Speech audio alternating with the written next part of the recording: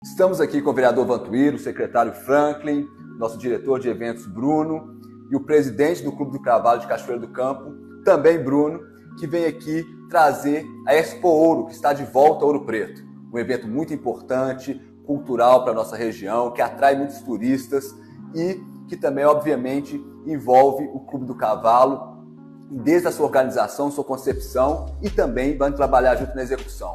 E a Secretaria de Desenvolvimento Econômico também estará presente. Iremos levar a Sala Mineira do Empreendedor, um projeto que conta com o Sebrae, com a Juseng, com o Senai, que estará lá para ensinar, capacitar, inclusive até abrir empresas, é, microempreendedores, diretamente na Expo Ouro. Turismo é um dos principais fatores de desenvolvimento econômico do nosso município. É a atividade que mais gera emprego. Então a Sala Mineira estará presente e confirmada também na Expo Ouro.